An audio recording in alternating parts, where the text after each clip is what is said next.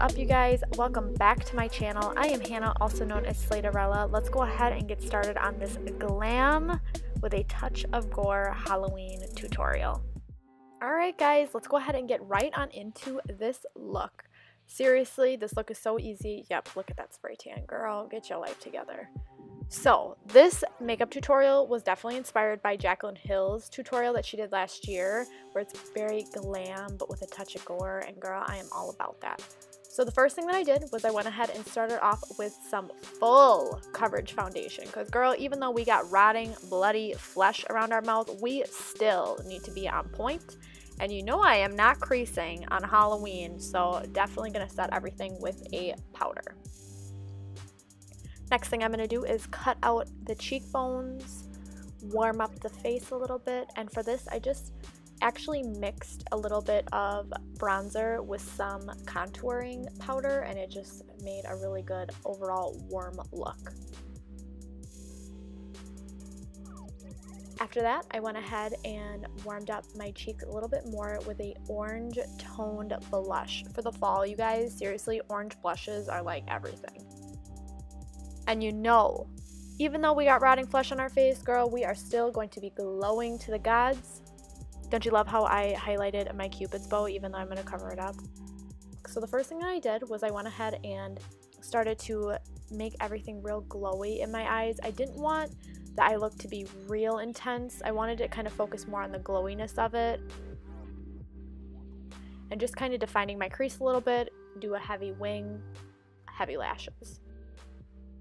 So I started off by warming up my crease with a little bit of a warm toned, almost like a mustard yellow brown color.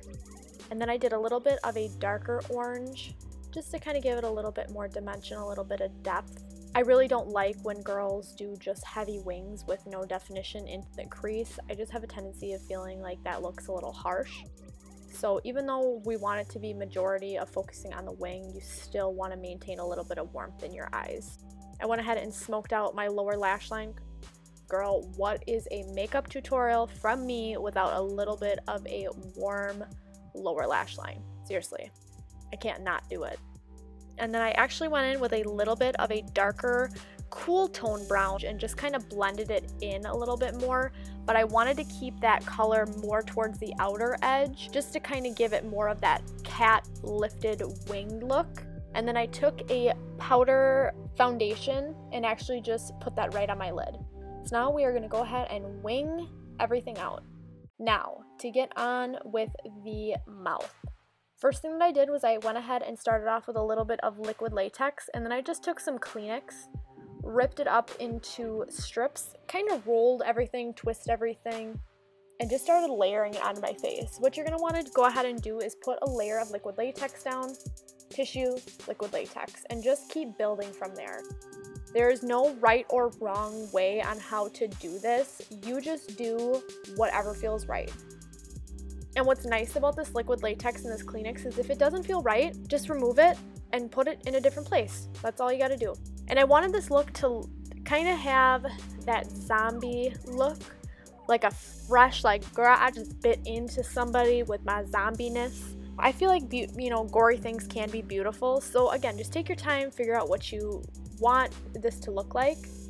After that, I went ahead and right, you got to find the right time to do this. And what I kind of did was when I started ripping this up, it was at that point where it was kind of dry where I could touch it and it wasn't really sticky anymore, but it still was wet. And that was like the perfect time where I could move it, but kind of stick it and get it into place a little bit better. And then I went over it again with another layer of liquid latex. Now, before you start doing anything, make sure you let this dry. And while this was drying, I actually just curled my hair. It took about 15 minutes. And then I went over it with my regular foundation. If you do not let this dry, girl, you can kiss that brush goodbye because you are going to ruin it. Went ahead and just touched up my bronzer where I maybe lost it when I was reapplying that foundation.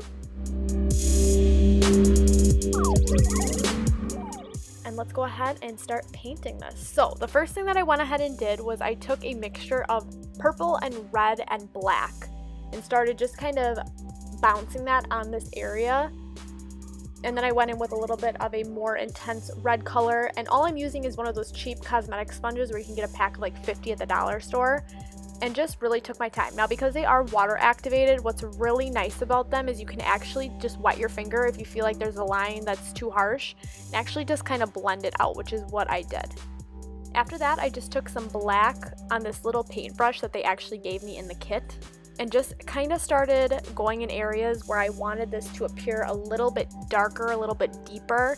Because where it's going to be dark is where it's going to look like there's emptiness or nothing there, and that's what I wanted it to be. Now, because this is just a cheap water activated paint, it did have a little bit of a shine to it, which I didn't like. And even when I tried to matte it down with some matte eyeshadow, it actually didn't really work. So I would suggest if you do this and you want those areas to look hollow, just use a really matte shade.